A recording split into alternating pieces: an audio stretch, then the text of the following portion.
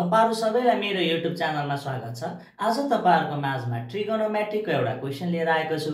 Question यस प्रकार रहेको छ।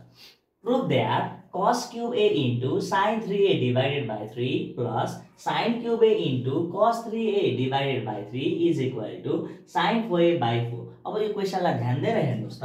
यसको लेफ्ट ह्यान्ड साइडमा एलएचएसमा हामीलाई cos cube A into sine three A divided by three दिएको छ। त्यस्तै गरी plus sine cube A into cos three A divided by three दिएको छ है? अब यहाँ ध्यान दिएर हेर्नुहोस् त यहाँ दुईवटै यो टर्मको डिनोमिनेटरमा थ्री छ त्यसैले डिनोमिनेटरमा एउटा थ्री लेख्ने र माथिको न्युमेरेटरहरूलाई एडिसन फर्ममा भएकोले एड गर्ने। Plus sine cube A into के हुन्छ? कस थ्री ए यहाँसम्म कुरा बुझ्नुभयो नि?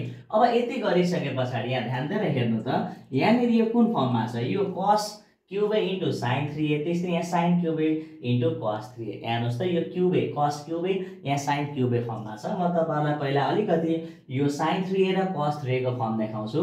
Cos three A equal to four cos cube A minus three cos ए हुन्छ। त्यस्तै गरी थ्री कस एलाई यता साइड चेन्ज गर्ने हो भने कस three A plus three cos A equal to four कस क्युबे हुन्छ है।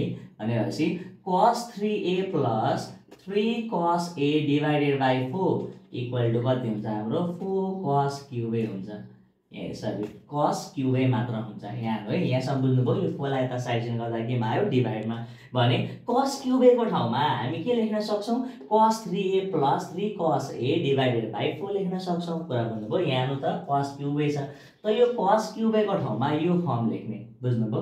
त्यस्तै गरी साइन थ्री एमा हेर्नु त साइन थ्री ए भनेको के हुन्छ हाम्रो? Three sine A minus four sine cube A हुन्छ है? यसलाई यता ल्याउँदाखेरि फोर साइन क्युब ए भयो अनि के हुन्छ यो? Three sine A minus sine three A हुने भयो कुरा बुझ्दै हुन्छ? त्यस्तै गरी साइन क्युब ए भनेको के हुन्छ हाम्रो? Three sine A minus sine three A divided by four हुन्छ यहाँ है? साइन क्युबेको ठाउँमा हामीले यो लेख्न सक्छौँ। त्यस्तै कस क्युबेको ठाउँमा हामीले यो लेख्न सक्छौँ। मजाले हेर्नु है यहाँ राख्दै जाउँ त। कस क्युबेको ठाउँमा कस three A plus three cos A divided by four into sine three A कुरा बुझ्नुभयो प्लस। अनि त्यस्तै गरी यो फर्म पनि लेखिहालौँ त। ध्यान दिएर हेर्नुहोस् है। साइन क्युबेको ठाउँमा three sine A minus sine three A divided by four into cos three A कुरा बुझ्नुभयो? अनि त्यस पछाडि होल डिभाइडेड बाई थ्री लेख्ने। यहाँसम्म बुझ्नुभयो नि कसरी यहाँ है। मैले यहाँ के गरेँ? कस क्युबे र साइन क्युबेलाई चेन्ज गरेँ। बुझ्नुभयो? अब त्यस पछाडि हेर्नुहोस् त यहाँनिर यो डिनोमिनेटर यहाँ पनि के आयो? फो फो आयो। यो डिनोमिनेटरलाई एउटा यसरी फो एल्सियम लिन सकिन्छ। माथि मल्टिप्लाई गरौँ त के हुन्छ? साइन थ्री एले कस थ्री ए र थ्री कस एलाई मल्टिप्लाई त। Sine three into cos three A गर्दाखेरि के हुन्छ? Sine three A into cos three A हुन्छ। प्लस त्यस्तै गरी यहाँ कति हुन्छ? Three cos A into sine three A बुझ्नुभयो? त्यस्तै गरी यहाँ प्लस मल्टिप्लाई गरौँ त यसरी नै के आउँदो रहेछ?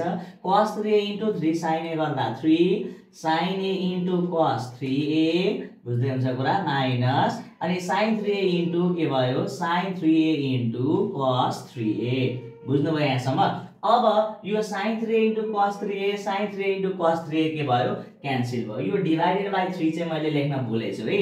यहाँ डिभाइडेड बाई थ्री पनि लेख्नु पऱ्यो बुझ्नुभयो? अब यो र यो क्यान्सल भयो। क्यान्सल भइसके पछाडि बाँकी के रह्यो त? ध्यान दिएर हेर्नुहोस् है। यो क्यान्सल भइसके पछाडि यहाँ बाँकी रह्यो हाम्रो यसलाई एरेन्ज गरेर लेखौँ त। Three sine three A into cos A plus यहाँ बाँकी भयो three cos three A into sine A भयो। बुझ्नुभयो?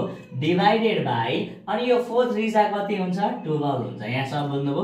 अब यति गरिसकेपछि यहाँ थ्री कमन आउँछ। थ्री कमन लिँदा sine three A into cos A plus cos three A into sine A divided by कति भयो? टुवेल्भ हो बुझ्नुभयो?